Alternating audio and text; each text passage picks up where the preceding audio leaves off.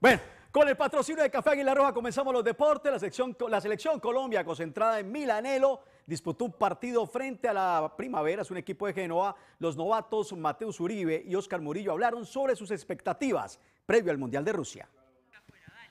A 11 días está Mateus Uribe de cumplir su sueño de jugar su primer Mundial de Fútbol con la tricolor. Llegar en este momento de mi carrera a, cumplir el sueño de estar en un Mundial es algo muy lindo, es algo donde me siento con, mucha confianza, donde sé que le puedo aportar eh, grandes cosas a la selección y bueno, solamente disfrutar este momento porque, porque sabemos que son, son, son pocos que, que se van a dar en la vida.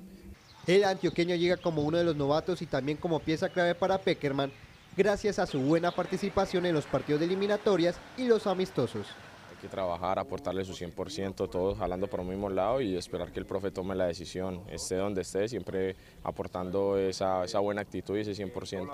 Otro de los debutantes en la Copa del Mundo es el zaguero Oscar Murillo, que quiere aportar en la selección sin importar ser uno de los bisoños del grupo. Eh, apoyando siempre al compañero, estar atento pues si si le toca jugar, hacer las cosas de la mejor forma y siempre puede estar, como yo siempre digo, en puntica de pie por si le toca jugar.